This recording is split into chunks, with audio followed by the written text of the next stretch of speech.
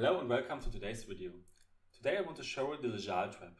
Some people also call it the legal trap, but I think this should be wrong because the trap was first played in 1750 in Paris by a French player named Legal. And yeah, so I think this should be the right pronunciation, right? Anyway, let's go back to the trap. Even if it's over 250 years old, the trap is still quite common in beginner's chess. And the reason for this is it's more like a motive that can occur in many variations. And one of the variations you can see already on the board, it's white to move and win white on the spot. But take your time. Before we jump right into the tactic, I of course want to show you how to reach the position and what you can do as black to avoid to get trapped. So without further ado, it's time to checkmate.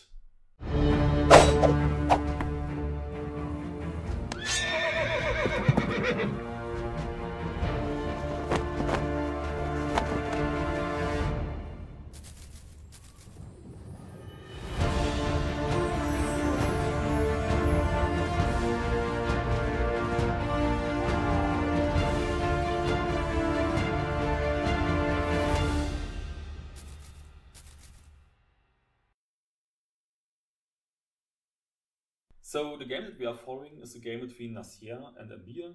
And as I already mentioned in the introduction, I could have chosen plenty of other games as well because the trap is quite common and is around for over 250 years, so many black players fall for the trap over the time. So anyway, let's get started with the game. The game started with the moves e4, e5, knight f3, knight c6, and after bishop c4, we reach the Italian game. Here black has some quite good options like bishop c5 or just entering the two knights defense with knight to f6. Instead, black decided to play d6. Um, this move isn't a blunder, but it's quite passive and it's not my cup of tea. And I think this move isn't the best. So anyway, white moved on with developing and played his knight to c3. And here black played bishop to g4. His plan is that he wants to pin our knight so that he can jump in with his other knight and making even more pressure on our f3 knight at a certain point. So white thought, well, I should ask black questions right away and played h3. And here black already played a blunder, he played the bishop to h5. Black's best move would have been bishop takes f3, because after queen f3, threatening mate on f7. So um, black cannot play a move like knight e4 before because it's mate. Um, black should instead play a move like knight f6 and white should play knight e2 to protect the d4 square from a knight. And yeah, we easily can stop here. I would say white has a slight advantage, but it's not huge. Um, black, for example, could play moves like g6, bishop c7, castling. At a certain point, you can also think about attacking our bishop with knight a5. And white instead probably wants to castle short, playing c3, d4, developing the bishop. So there are still plenty of possibilities and nothing is decided yet. Instead, black played the mistake and he played bishop h5. And believe it or not, but this position is already won for white. Um, I would advise you to pause the video and try to figure out what white's best move is in this position. I give you three seconds to pause the video. One, two, three. Well, I hope you all found the solution. If not, that's not a problem. I will give you a little hint. The hint is that sometimes it's even worth to sacrifice the queen even if you're only winning a pawn. So with that hint, I give you three seconds again to pause the video if you need to. One, two, three. Well, I hope you all found the solution. The right move is knight takes e5 exclam. So, why does it work? Well, the, the most beautiful line for white would be if black would accept the queen sacrifice and take the queen on d1. Because now it's a pretty, pretty nice mate after Bishop takes f7 check, the king has only one move. He has to go to e7 and now the knight comes in and it's mate. This knight guards this square, this knight guards this square, and the bishop guards this squares. He's Black's king is blocked by his own pieces, and so it's simply made. It's a really, really beautiful mate. And yeah, many games were won that way, so really nice. But um, Black can do better. He could, for example, grab the knight. So he's um, right now he's up a knight, and I hope you saw this variation because um, it's probably one of Black's best tries. And he argues, well, dude, your queen is attacked. Oops, red. And your bishop is attacked. So what are you doing? Well, of course, we are taking the bishop.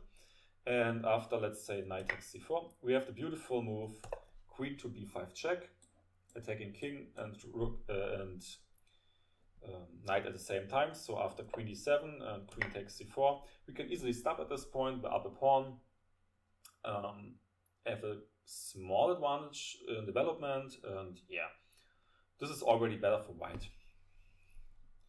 So what else could black try? Well, I just want to show you one more line, and this is d takes e5. Um, here we could just grab the bishop, threaten again the mate on f7. So black probably will be uh, used to play g6, and here we should just simply retreat our queen to d1. And again, we're up a pawn, so there are no threats against us, and yeah, this should be an easy game for white. So you may ask, well, why didn't this trap work one move earlier? Can you remember that at this point, after the move um, bishop to g4, we played h3?